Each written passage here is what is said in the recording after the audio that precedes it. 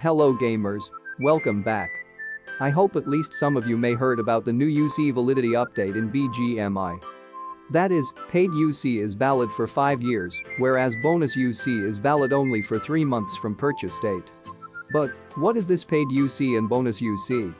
By the way, is there any way to avoid this bonus UC expiry?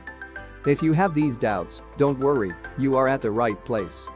In this video, I will be giving answers to these questions. But before getting into it, make sure you are subscribed to this channel for more videos like this. So, let's get started. This new update clearly says that only the paid UC will be valid for 5 years, whereas the bonus UC will expire in 3 months. Here the term paid UC means the UC purchased using real money. On the other hand bonus UC means all other UC obtained as bonus or in-game rewards. I know you still didn't understand well. Don't worry. I will show you an example. As you all know, this is the in-game UC purchase store in BGMI. Here you can see the amount of UC and their respective prices.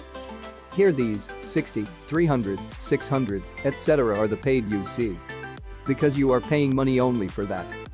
Whereas these 25, 60, 300, etc. are the bonus UC because these are free UC given by BGMI. Actually this is not the first time Krafton introducing this rule. If we take a look at the first version of PUBG, that is the PUBG PC, there also this rule exists. The only difference is in PUBG PC it is G-Coin instead of UC. Even the first notice regarding BGMI release was posted on PUBG PC official page. Now let's take a look at how this new system will affect us. Main thing is with Royal Pass users. For buying Royal Pass for the first time we buy UC with real money. At that time, that UC is called paid UC.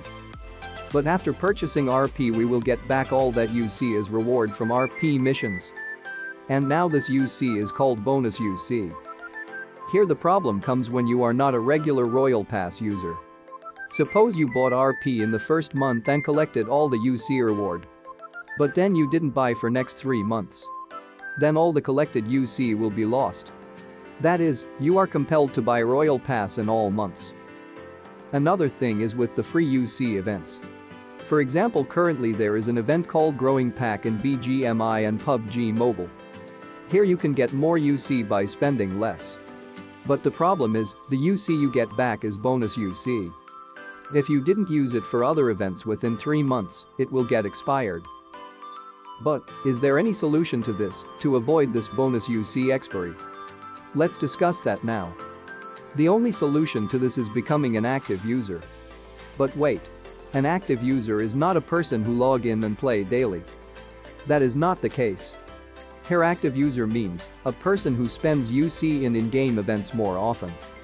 That is, if you spend UC at least once a month in events, then you don't have to worry, but if you just keep all the bonus UC as a collection or something, then it will not be there after 3 months.